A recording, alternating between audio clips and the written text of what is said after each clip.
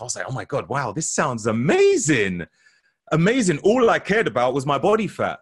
But I got a full on report on like everything about like my, not just my subcutaneous fat, my visceral fat, and um, like the minerals and everything, like how heavy my bones was. I was like, actually, this is this is far more interesting than I anticipated and it kind of made me think I'd love to understand a bit more about myself rather than just body fat. Um, and then I guess it just kind of put me on a, on a on a path of self discovery, trying to understand a bit more about myself. It got me a bit more. I was like, I don't need to train to look a certain way. I could train because I enjoy it. Right. So when people were asking me, "Oh, what's what's your what's your training plan?" I was like, "I'm just enjoying myself right now. I wanted, I'm doing whatever I want," and it was brilliant. It felt so great. So, um, you know, in doing that, I was like, I want to understand a bit more about myself, and I think um, I just happened to be personal training in um, one gym called uh, Reebok Sports Club, and um, oh, before then, I actually done a uh, a uh, a DEXA scan. I de- I done a DEXA scan because some uh, what it was was I I done a little thing on social media. I said guess my body fat, and like loads of people was making guesses, but I, I didn't even know what my body fat was. So I was like, okay, I'm going to check it today. And then someone said, oh, how are you going to, how you going to check it? Are you going to use a skin caliper? I said, yeah, that's right. And they said, yeah, but that's not a gold standard. I was like, well, what is the gold standard? And they, and uh, someone said, um, a uh, DEXA scan. A few, a few people said some other stuff, but then I'd done a little search on a DEXA scan and I thought, oh, this seems really interesting. An actual scan. So I went to a center and um, they said what they what they'll do is take um, an actual scan and they can tell me what my uh, fat-free mass was, my bone density as well, and lean body mass. I was like, oh my god, wow, this sounds amazing, amazing. All I cared about was my body fat, but I got a full-on report on like everything about like my not just my subcutaneous fat, my visceral fat and um, like the minerals and everything, like how heavy my bones was. I was like, actually, this is this is far more interesting than I anticipated, and it kind of made me think I'd love to understand a bit more about myself rather than just body fat, because that was the only thing I understood about. Um, and then after that, I think um, shortly after after that, a company was introduced to the gym where I was working called uh, DNA Fit, which um, do a, a DNA test. And what they do is they can tell what type of training would be most suited to your genetics. Well, that's that's the the concept behind what they do. Yeah. So they check certain types of genes, um, which are most responsible for certain types of things. So they comprise a report, and from that, they can tell you what type of training, whether you would be more um, higher in power or higher in, in, in endurance, and also what type of minerals would be most suited for your um, body type as well or your genetics. I was like, wow! I was I was blown away. I was so blown away, and it made me think there must are there other companies like that out there?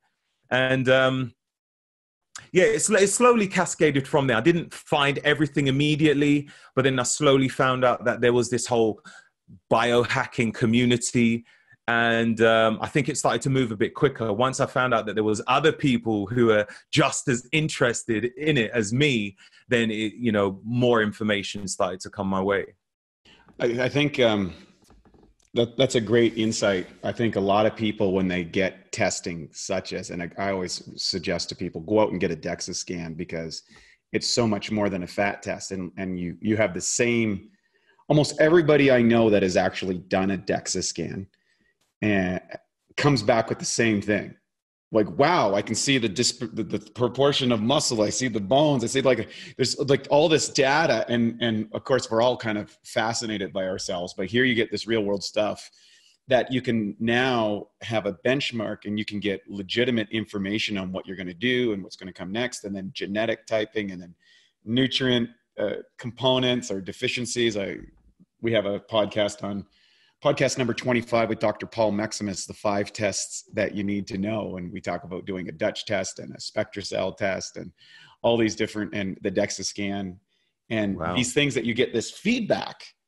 And before that was kind of reserved for you know elite athletes and hyper you know teams that had a hyper budgets to support these athletes or people who were sick. But mm-hmm. nowadays as individuals we can now get access to many of these tests and then we can go off and start doing experiments ourselves with whether it's diet or nutrition or supplements or you know whatever it happens to be and, and we can actually start to track and get our own feedback on this. And i found it fascinating. What turned you on to hmm. this quote unquote biohacking world? Like like when you you kind of made this thing and then it's like oh then i discovered this. Did, did you go to an event? Did you hear a podcast? Like what what what got you into this whole biohacking world i don't know i i i, I it's like i knew something was there was more to what i understood about the human body but I was thinking, like, how am I going to find out? I don't want to try and be a doctor. I'm not interested in that. I wasn't great at school. Um, I just want to practically find out stuff, you know? And um, so I would be just experimenting, seeing what type of foods would kind of work for me. Um, I was trying keto before I even knew that that was the name of it. And I found that it was okay for me, but my energy levels was just a bit too low.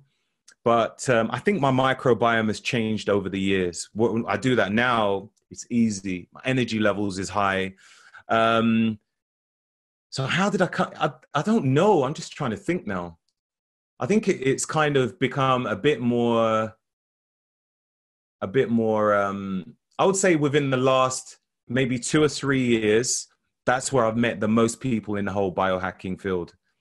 Um, you know, I had people reach out to me saying, "Oh, have you tried this? Have you tried that?" I think that's the great thing about social media. You know, when when when you talk about your experiences with maybe certain type of supplements, they're like, "Oh, have you tried this supplement? Oh, why is that? Why is that one better? Oh, well, I've read this," and then you you do your own research on it. But um, biohacking was just like something totally different. You know, I, I think I um, I was reading about red light therapy, and um, every time I think about therapy, or every time I thought about therapy, I, I saw it as like, I don't know, like when you see a therapist, you know, like when if you got issues and you need someone to speak to. I was like, red light therapy. I was like, I was, I was you know, that's the first time I thought about red light therapy. I was thinking, red light district and therapy. What? What are you talking about? Like yeah. Sexual therapy? you know, I couldn't quite figure it out. Of course, yeah. It's like, what is this, right?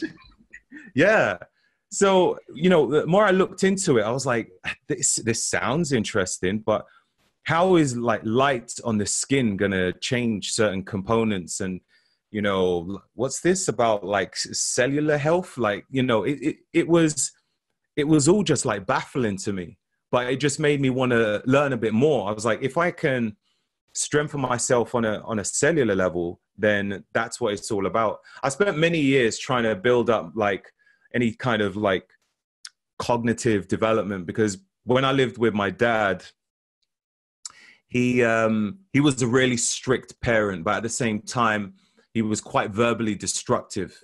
So um, I grew up with like really bad self esteem. Although you know I, I I loved fitness, I really didn't believe in myself. So I started listening to a lot of audio books on on self development, like you know teach yourself how to think and um, just like you know positive mental attitude and then i started to look into um, neuro linguistic programming you know understanding like human behavior understanding you know someone's responding to me a certain way really looking into the eyes and you know mirroring matching and mirroring that sort of thing so i found that pretty uh, fascinating but i only done that for my own personal development and then i realized that when i started to talk to other people about it not many people did understand that because they didn't spend the time to do that. I guess they didn't feel they needed it, whereas I desperately felt I needed that. Um, but then I started to think to myself, you know, I've worked so for so long on my brain and you know my my just like my mental focus and just keeping a, a clear mind. But i want to know what's going on inside my body. Um, then I, yeah i found out about red light therapy and well, what's the other one? Um, molecular hydrogen water. Lo- loads of different stuff loads of di- i can't think off the top of my head how it all started but i just had lots of companies like reaching out to me the moment I started to talk about my experience about stuff.